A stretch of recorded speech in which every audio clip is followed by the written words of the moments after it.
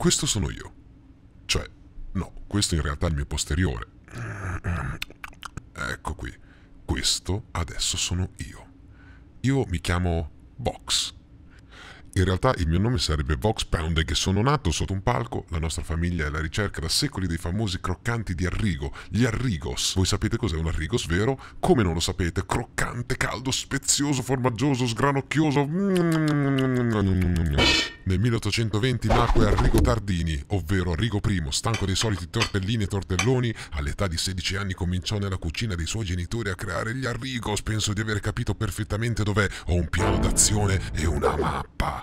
Andiamoci a prendere questi Arrigos da Arrigo. Il negozio dove vengono fatti è ora nascosto in un posto misterioso sotto Nonantola. Mm. E vi chiederete come mai è nascosto? Allora io vi racconto questa storiellina. Perché non mi seguite? Arrigo II rivoluzionò la ricetta di Arrigo I aggiungendo misteriosi ingredienti coltivati dalla partecipazione agraria. E da allora gli Arrigo sono diventati buonissimi, molto molto molto molto molto molto più croccanti.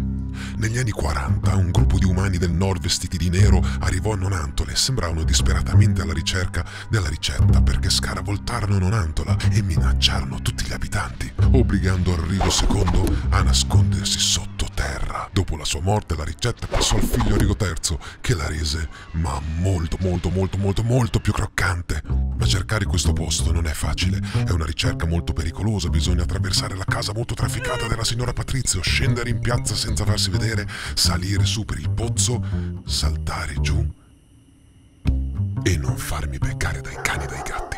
Molto importante, assolutamente non mangiare il cibo del sindaco. Potrebbe anche essere l'ultimo.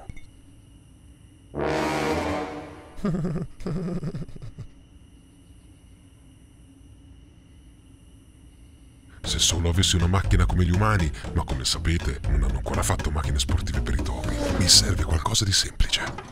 Una palla.